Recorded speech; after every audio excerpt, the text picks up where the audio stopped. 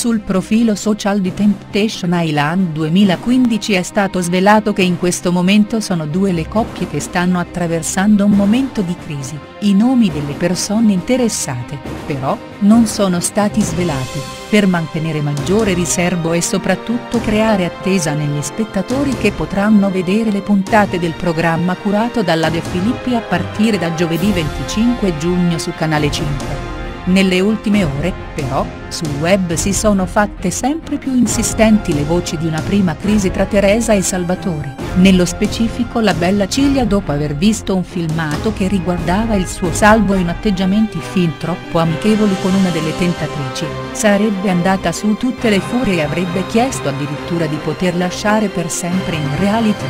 La love story tra Salvatore e Teresa è arrivata già al capolinea,